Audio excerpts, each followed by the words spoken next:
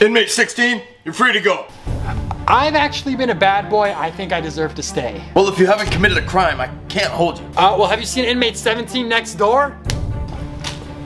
Uh, help! He hurt me! Ah. Well, it is jail. You're kind of allowed to fight people. Did you see the janitor over there? Uh, ayúdame! Ayúdame! All right, that's an additional 10 years. Enjoy your time. Sweet! Hey, inmate 18, you're good to go. Oh, yay! Now what? I'm down.